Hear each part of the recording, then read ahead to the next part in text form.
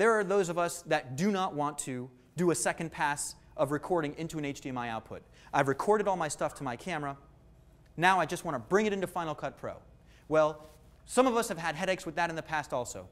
I'm going to share with you guys today a little bit of software coming out of Canon that's really going to make that a lot easier on you. So uh, if you'll join me over here at my computer. I'm going to uh, Google EOS plugin E1. Verge, can we get my computer up? On program out, please. Thank you. So right up in my little Google bar, you'll notice I've typed in EOS plugin E1. You guys see that? When I run that search, it will be the number one uh, response on your Google search. It's this Canon Digital Learning Center release of this plugin software. The EOS plugin E1 is a Final Cut Pro plugin.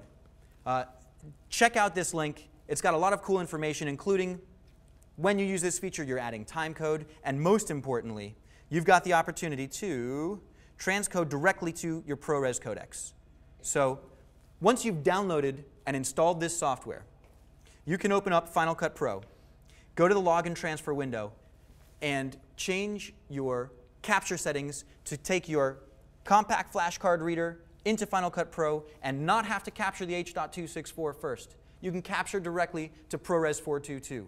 This is going to save you a lot of time. Let me show you what I mean. I'm going to pop open Final Cut Pro here.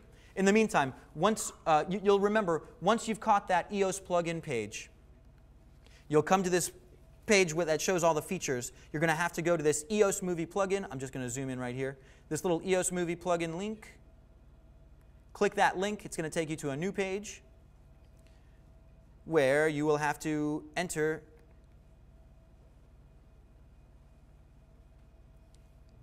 you will have to enter your operating software. So we're going to go to drivers and software. I'm going to tell it that my operating system is Macintosh OS X. And now we've got a list of very useful pieces of software. The most important one right here, EOS Movie Plugin for Final Cut Pro version 1.1. Click on that box. Download that program. Install it. Why? Because once you've done that, when you go into Final Cut Pro and you do a log and transfer, so let's go to File, log and transfer.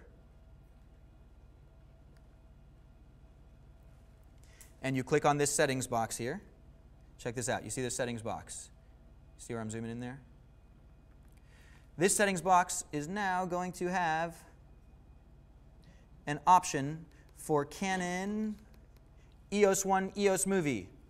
That means when you've got your compact flash card with material recorded from the, from the DSLR cameras, you can change that to be Apple ProRes 444, 422HQ. You've got all these ProRes options. So you don't have to first record in H.264 and then convert it to ProRes. You download that little piece of software. You connect your compact flash card reader to Final Cut Pro, log and transfer, set your settings to ProRes 422, and on your first pass, you've got a 422 copy of all the footage you recorded to your compact flash card.